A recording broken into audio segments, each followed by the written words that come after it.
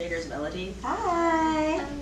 Yeah, so we would like to welcome you guys to our Weigel. Can everyone like please go around and like say your name, what school you go to, and something you're looking forward to this summer?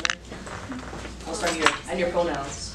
Um, my name is Dulce. Uh, Getting the group like together. Uh, I go to Lafayette High School, and something that I want to take away is just like more knowledge about certain issues. My name is Renee Mendonça and I go to Susan E. Wagner High School and my pronouns is she or her. Something I want to learn from this program is um, why voting is important for the individual so I can educate others.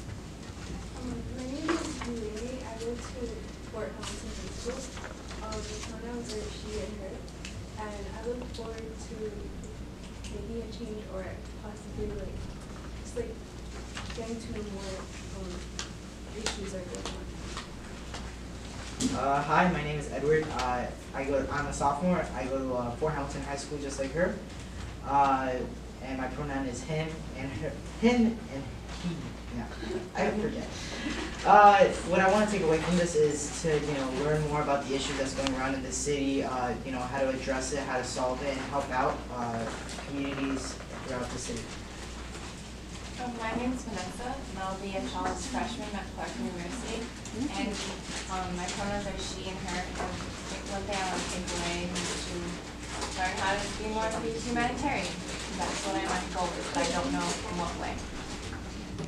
Hi, my name is Ria Mendonça and I go to Susan. Wagner High School.